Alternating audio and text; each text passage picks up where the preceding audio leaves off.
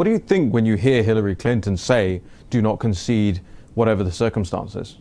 I hear someone that does not respect the people anymore, but it is just in is what she called the people voting for Trump deplorables. It's the same thing. She, she, has, she has disdain for the common person. She believes that uh, she should be entitled to rule or her class should be entitled to rule the people because they know better. It, it's a little bit like the Taliban's, you know. They believe that they knew better and they wanted to rule the people whether they liked it or not. It's the same thing here. She believes she knows better and she should be entitled to, to be ruling the country.